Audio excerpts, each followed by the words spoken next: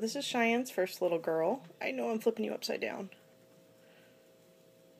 She's a snowflake, might develop into a pinto flake. She has a little bit of white on her butt, but usually that right there goes away as they get older. So she might just be a pinto flake. I'm going to call this color light gray. So this is the light gray girl.